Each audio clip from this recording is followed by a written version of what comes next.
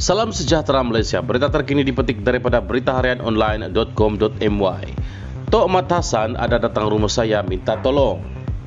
Kalau dia kata PN berlagak bersih, saya nak media tanyakan pada Tok Mat Hasan, ada tak pada April 2019 Tok Mat datang ke rumah saya minta tolong? Itu sahaja soalannya supaya dia boleh jawab kata Setiausaha Agung Bersatu, Datu Sri Hamzah Zainuddin. Hamzah mengulas kenyataan Muhammad semalam bahawa PN adalah parti yang berlagak suci, sedangkan ia sedangkan PN bersekongkol dengan Pakatan Harapan untuk menipu rakyat pada pilihan raya umum ke-14. Hamzah yang juga Menteri Dalam Negeri berkata, beliau tidak mahu membangkitkan perkara yang bukan-bukan membabitkan Tokmat, justru meminta timbulan Presiden UMNO itu juga agar tidak mengeluarkan kenyataan jelek terhadap bersatu.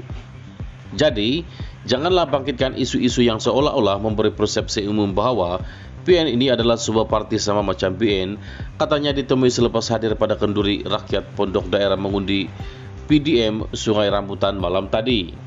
Beliau berkata Perikatan Nasional meletakkan calon yang bersih dalam PR15, manakala PN pula ada meletakkan calon yang mempunyai masalah. Sepatutnya orang yang bermasalah itu tidak menjadi calonlah. Itu perbandingan antara BN dan PN.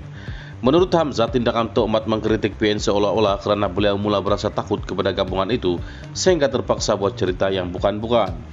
Presiden dia sendiri yang bercakap dalam program bersama MIC. Tok Mat Hasan akan masuk dalam bukan kita yang cakap. Kalau betul Tok Mat akan masuk dalam, apa case-nya?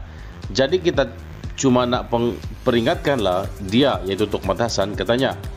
Semalam Muhammad memberi amaran kepada Bersatu supaya tidak berlagak suci memandangkan parti itu bersekongkol dengan Pakatan Harapan menipu rakyat pada pilihan raya umum ke-14. Pengarah pilihan raya Barisan Nasional itu berkata rakyat perlu menilai kembali dosa-dosa bersatu dalam gabungan itu walaupun parti berkenaan tidak bersama Perikatan Nasional.